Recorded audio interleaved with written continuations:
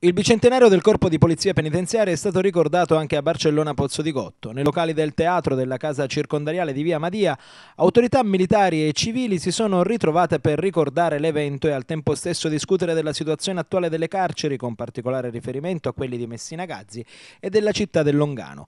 Un'occasione per sottolineare il ruolo e i compiti della polizia penitenziaria nel panorama dell'amministrazione giudiziaria italiana. È un'occasione importante di riflessione su quello che significa lavorare in un settore così delicato qual è quello dell'area custodiale in ambito carcerario, tenuto conto delle nuove competenze che vengono richieste appunto alla polizia penitenziaria, che non sono più quelle della mera sorveglianza, ma una, di una piena partecipazione ai percorsi di riabilitazione dei detenuti che ci sono affidati.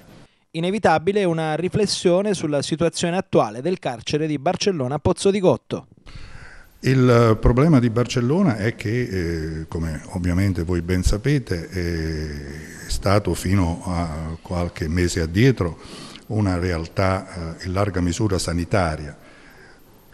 È stata riconvertita in eh, casa circondariale, è un processo sicuramente lento, eh, richiede naturalmente una eh, forte attenzione da parte eh, dell'amministrazione, ma in genere direi da parte del, del, degli organi politici eh, circa la dotazione di organico e quindi è in corso una uh, protesta da parte della polizia penitenziaria che eh, naturalmente trova la sua uh, giustificazione in questo senso. E naturalmente l'attenzione alla struttura eh, eh, perché evidentemente va adeguata alle nuove necessità eh, che sono naturalmente di un'accentuazione della componente della sicurezza.